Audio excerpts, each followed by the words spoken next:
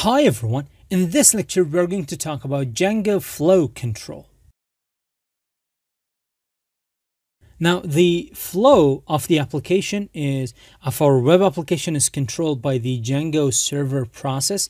When we run the Django server, um, it is initially it's not going to do anything until a request has come in.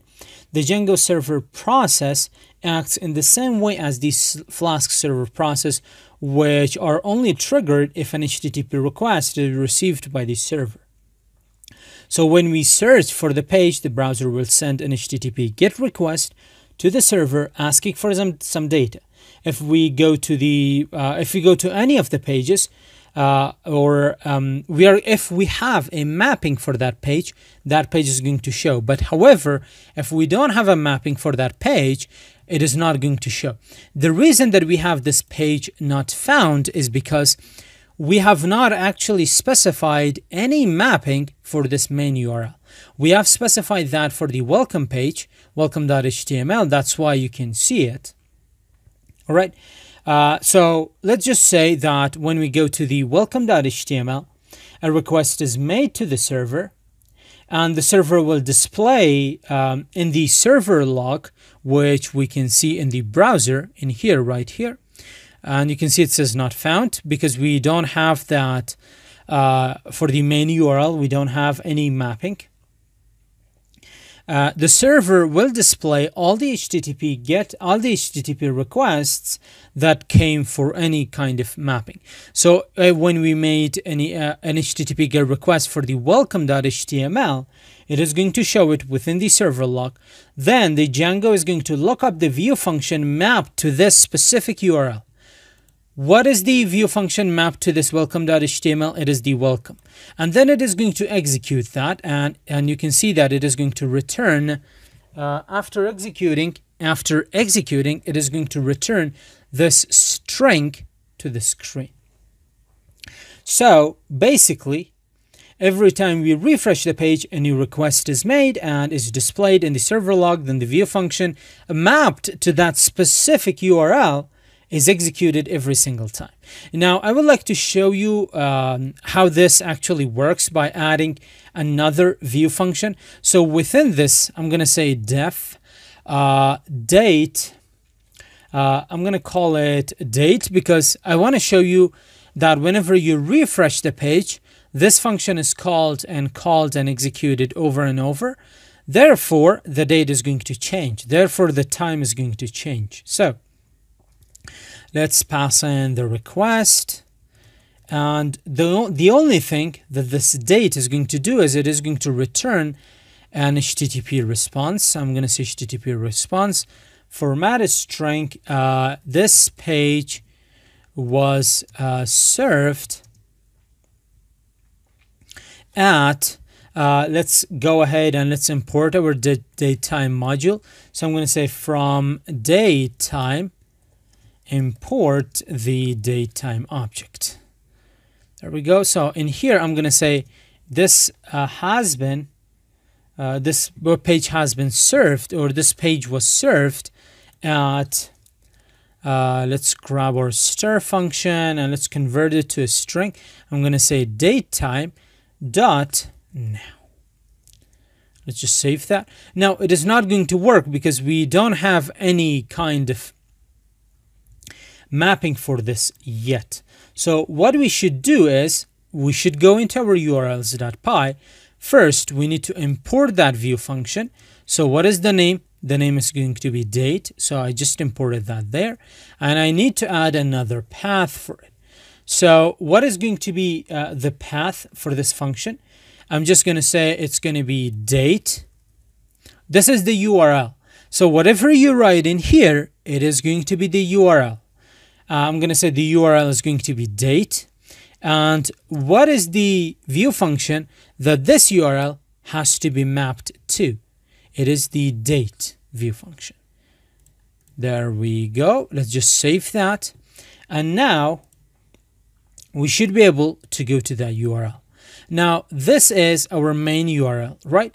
Any other URL that you add, we know that there is an implicit slash so you need to add that slash and from there we are going to do date. So if I do date, it says this page was served at this time in this at this at this date in this time. So I'm going to zoom really in so you can really see what is happening here. So if I refresh, you can see the second is 22, 25, 26, 26.9. We could wait like a few seconds, 30. And so each time this page is refreshed, uh, an HTTP GET request goes to the server log in here. Django takes a look at the server log and finds what is the URL. This is the URL. Then it jumps into urls.py and it finds that URL. And when it found it, it found it, it is going to map it to the view function that is associated with that URL. And when it finds that view function, it's going to jump into the views.py file and it is going to execute that specific view function that is relating this specific URL. This is actually how this entire process is going to work. So, uh, what I'm going to do is uh, if we go to our uh, main page, so if I come in here, if you add the slash or not, it's always going to be there. We can see that it says page not found. So let me just zoom out. But I want this 127.0.0 uh, colon 8000 to be my main web page. So how can we do that? So to be able to do that is just we need to go ahead and provide a URL mapping for it. How can we provide a URL mapping for that? And I want this welcome view function to handle our main web page, our main page or our home page. Again, I want the welcome view function to handle the main page. This view function to handle this main page. So what is the main page? aka the root page, it is simply a slash, right?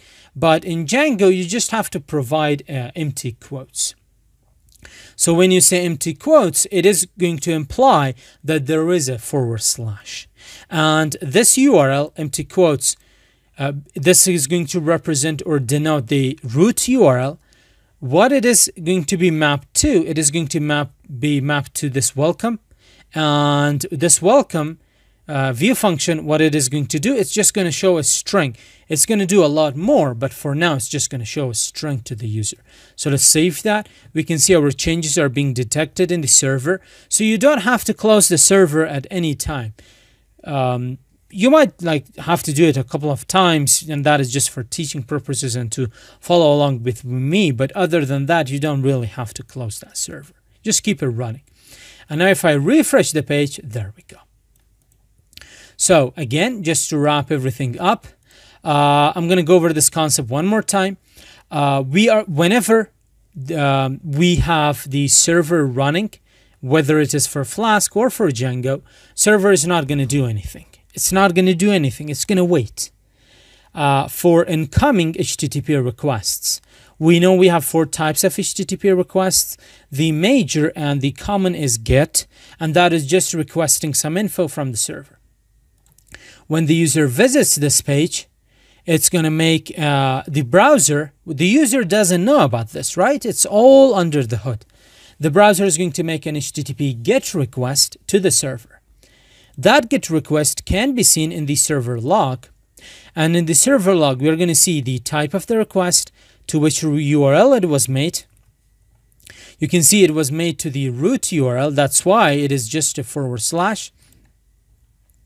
And then Django will take a look at the server log.